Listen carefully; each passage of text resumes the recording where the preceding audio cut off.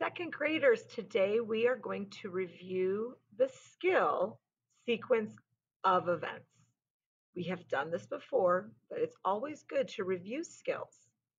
This skill deals with our reading comprehension. Did we understand what we read? And part of it is thinking of the events that happened in the story and the specific order that they happened in.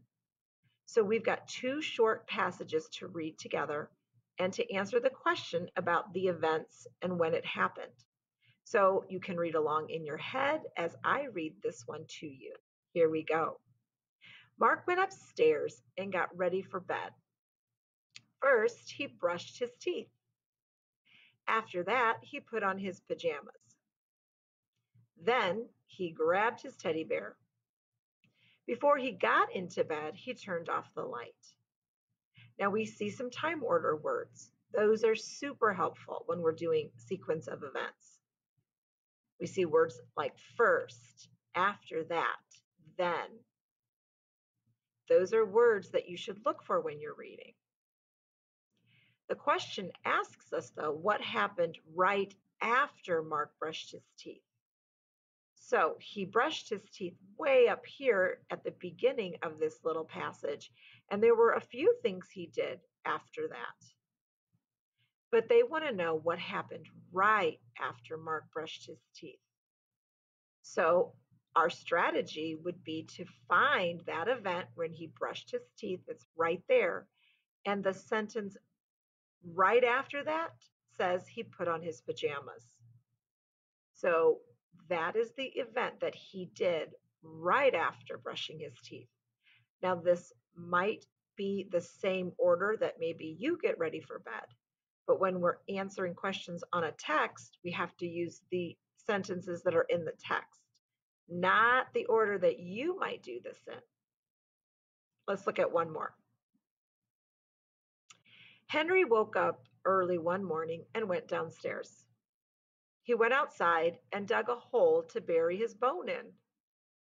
Later, he went to get a drink of water. Later, he took a nap in his doghouse. What did Henry do right before he took a nap in his doghouse? So now they're asking us to go back up into the story and think of something that happened before the given event.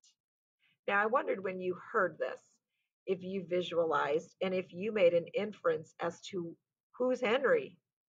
Because when I read that first sentence, I pictured a boy or a man going downstairs. But the minute I read the second sentence, I heard this detail. He went outside and dug a hole to bury his bone in. That changed my mind. Okay, now I'm thinking, I know what this is. This is a dog.